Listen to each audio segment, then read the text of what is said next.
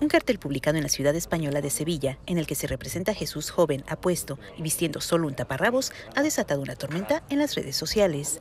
Algunos lo han calificado como una afrenta a la figura de Cristo y otros han publicado comentarios lascivos y memes burlándose de la imagen.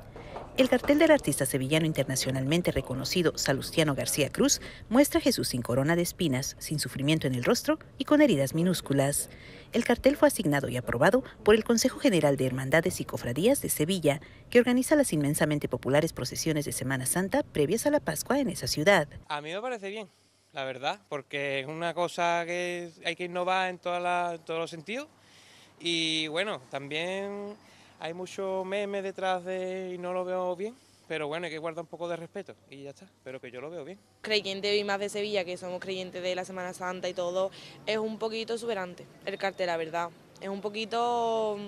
Yo no lo hubiera puesto así.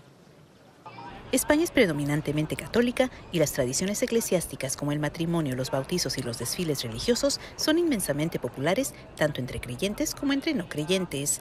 Unas 14.000 personas de todo el país firmaron una campaña en change.org para retirar el cartel de Jesús.